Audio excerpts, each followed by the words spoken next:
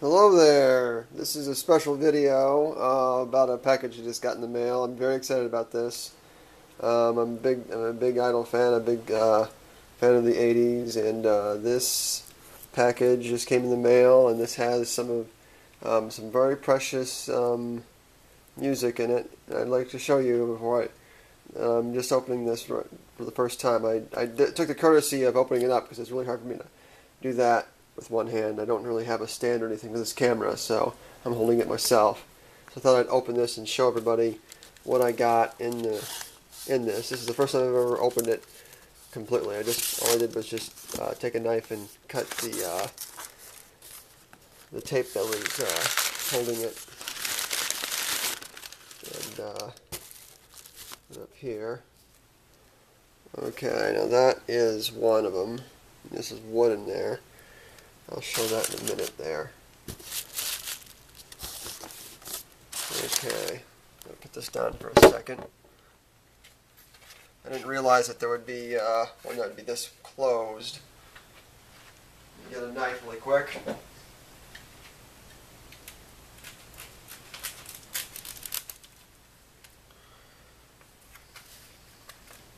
Wow, this is a lot harder to, as you can see, whoever did this, this is actually, this is actually some sort of plywood, and it's taped on several ends, so I'm to try to do this in front of the camera as best I can in both my hands. This is very awkward, but I'll try it anyway. Man, this is, uh, I did not think it'd be this difficult.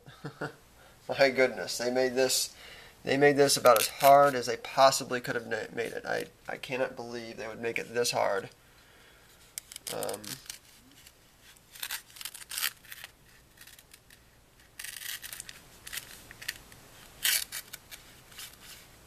I hope I don't damage anything doing this. Boy, they just, they, man, I, I cannot believe how hard they made this.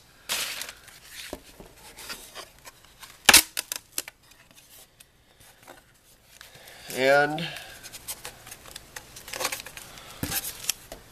man, wow, they goodness, they they made this as hard as they possibly could have made. I I have my goodness, I I have never opened a package this difficult to access. Wow. I mean, it's nice that they came it, they kept it really nice and safe and everything, but my goodness. Okay, ah, that was way too difficult. This is what one of the ones I got here. This is uh, this is my favorite idol song in the whole world. Uh, cool Nie Atanagatari. Uh, Kana Wakabayashi's last single. It was uh, delayed by several months, and um, because it, because it was delayed, there was a big delay between singles. It really didn't do very well in sales, but it's it is a beautifully orchestrated song.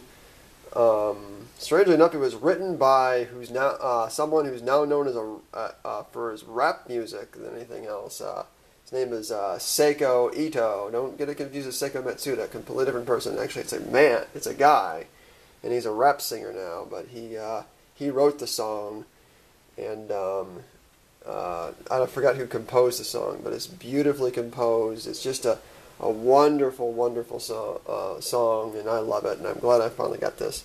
I did overpay for it, though, and I am afraid of something. Let me see if there's a problem here. If you notice, there's a liner note. It's beautiful uh, cover. The cover is in beautiful condition.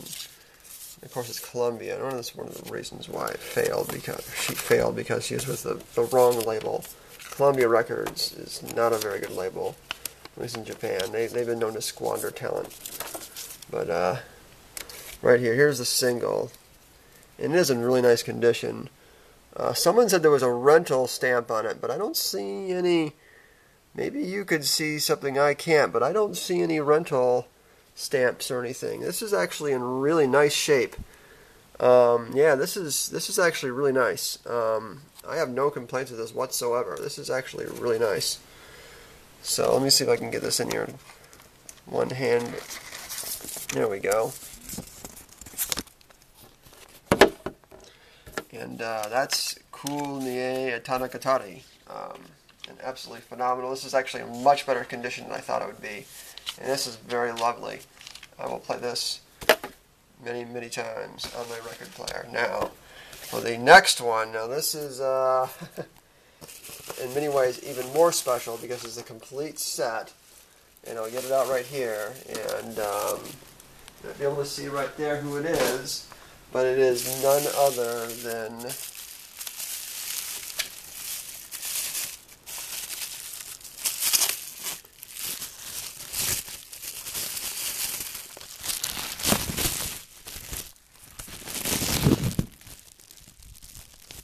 ah, about that. That's kind of an awkward thing to do. But this is none other than Yukiko Okada. And these, this is a complete set I got. This is a lovely set. These are in wonderful condition. I love it. Um, well, these are double, many of these are double back. That is wonderful. I didn't realize this is double back. Oh, my one of my favorite singles right here. Matter of fact, until I learned about Cool Nie Tanagatari, this was actually my favorite single right there. That's uh, Summer Beach. And boyish was she a lovely young, young lady. Um, but these are really special to me. I'm glad I, fi- I was finally able to acquire all these singles here. That's uh, her last officially released single during her lifetime. Kuchibiru Network. Network Lips, or the network of what you kiss with. The Love Fair, another beautiful song. And these are in really nice, really nice shape. I like these. And um, I actually got into a bidding war with somebody with these, so I wasn't the only person who wanted these for certain. for obvious reason, this is uh, this is uh, one of the most popular sing- singers of that era, and to get a complete set of these is wonderful. And just I love the fact that there's liner, there, there's um, pictures on the back. Let me get out this summer beach and just show you the um, just how wonderful this is. This is uh, I'm I'm so happy I got these. I'm so happy that Cool Nie Tanagatari was in good shape. And right there, okay. Wow, that's uh, lovely. This is actually like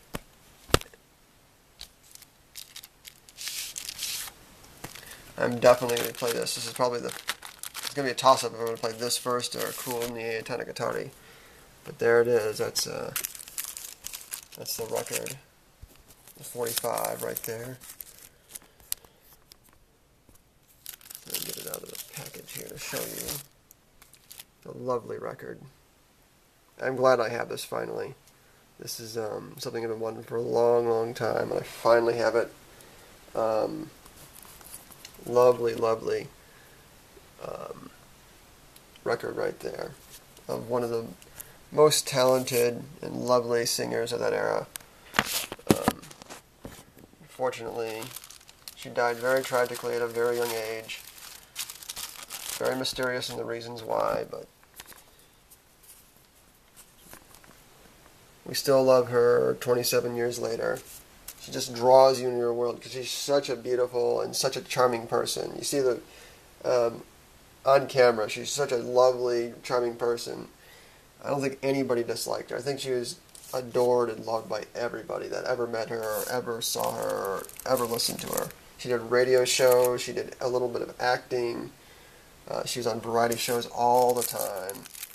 Um, she made a total of four albums and technically 10 singles, though only 8 of them were released in her lifetime.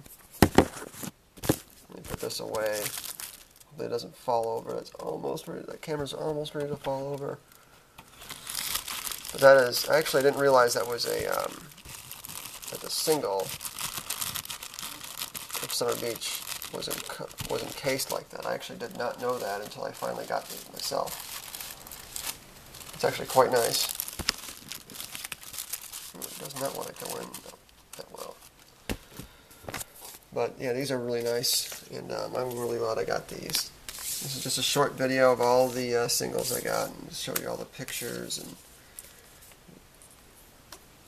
I'm not gonna get out every every record, but I'm definitely gonna be playing these right away. I don't know which order I'm gonna play them. I might play them in, in chronological order, which would make Cool Nie Tanagatari the last one, because that was actually released in April, mid-April of '86. So that would have made the, that one the latest one. So I'll put these in chronological order and probably play them in chronological order. But it was just great to get these, and thanks for watching.